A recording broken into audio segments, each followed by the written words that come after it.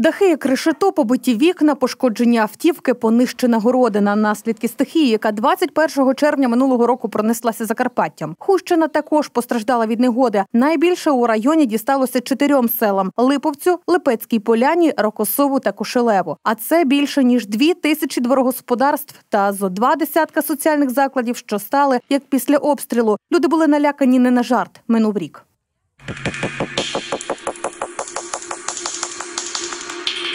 Більше року тому градобій пронісся Закарпаттям, однак ліквідувати наслідки стихії не вдалося і по сьогодні. До прикладу, у Кошелівському заломі град випав розміром із гусяче яйце. Більшість місцевих за лічені хвилини опинилися без даху над головою у прямому сенсі цього слова. Про інше майно годі й говорити, пригадує нині голова села. Власне, прикрість полягає і у тому, що держава досі повністю не компенсувала збитки людям. Була пошкоджена будинків, е, були пошкоджені дахи будинків, там інші споруди. Е, Ну, наслідок градобою кожному господарству було виділені е, 298 гривень. Грошей, які торік виділила держава, ледве вистачало на два листи шиферу, а це крапля в морі порівняно із потребою. Благодійна організація е, Рокосово перерахувала там е, 400 листів шифера, які були е, покриті дуже малозабезпеченим е, людям, які одинокі, престарілі. Люди залишилися наодинці з бідою, тому довелося самотужки ліквідовувати наслідки великого градобою. От пані Ірина розповідає, що майно її старенької матері найбільше постраждало. То там, там хижа і хліво, то все геть було лише встало. Ну, так, що не можна було ніяк. Була комісія, складали акт. Я не пам'ятаю на яку суму, ну, ну велику суму там. Там ну, много. Мати стара, вона сама не в змозі була то оплатити. І допомогла сільська рада. Виділила їй 55 листів шифера і, і 5 грубірої.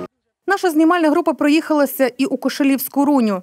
Як видно на кадрах, житлові будинки перекрили заново. Однак кілька споруд і досі без ремонту. Тут поки залатані дірки та сподівання, що держава таки покриє збитки.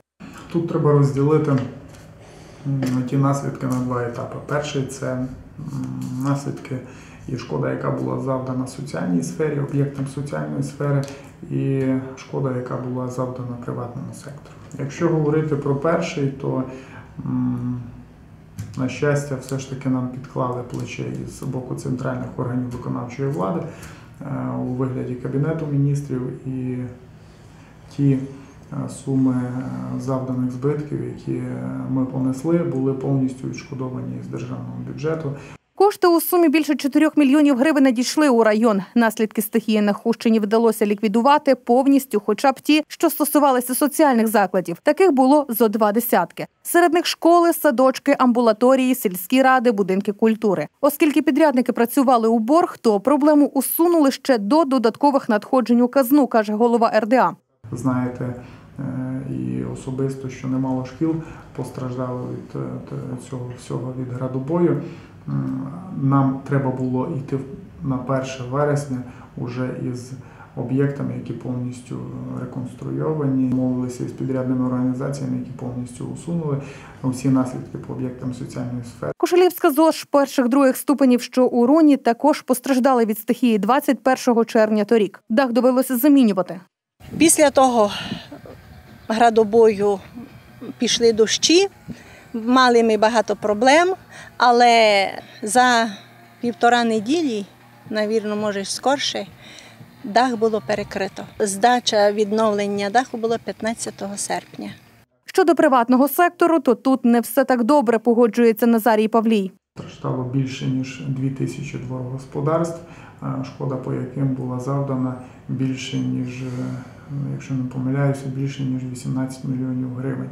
Чекаємо, як кажуть, обіцяного три роки чекають, але десь е, трошки, скажімо так, і, і соромно перед мешканцями нашого району, що е, от ситуація така, що їхнє питання все ж таки чи відтермінували, чи відклали на другий план. Це була надзвичайна ситуація, яка пронеслася по частині Хуського району, і тоді надзвичайно велику біду е, завдало. Не вдалося адміністрації е, ліквідувати оці е, наслідки. Вони привели об'єкти соціальної сфери у належний стан, провели відповідно і певний ремонт покрівель, але нас повинно турбувати і населення. Голова районної ради вважає, що держава повинна була повернутися обличчям до людей, адже одного співчуття замало. Виплата компенсації постраждалим це та першочергова дія урядовців, яка повинна була бути минулого літа. Люди в основному провели цей ремонт за власний кошт. Е, Може хтось мав, може хтось і не мав, тому що основна частина на Закарпатській області це е, так як є е, раніше Хуський район дотаційним районом. Це є е, ну, не сама багата частина народу, треба відмітити. Тому тут надіюся, що е, ще трошки десь держава постарається компенсувати оці збитки народу. На початку цього року людохід додав збитків, однак стихією так і не визнали. Постанова Кабінету міністрів України чітко вирізняє е, певні види от, надзвичайних ситуацій, до, до якої відносяться об'єктова, а потім місцева, регіональна і державна. Ну, є певні критерії, до, по яким ту чи іншу надзвичайну ситуацію віднести до певного, е, до, до певного да, виду е, стихійного лиха.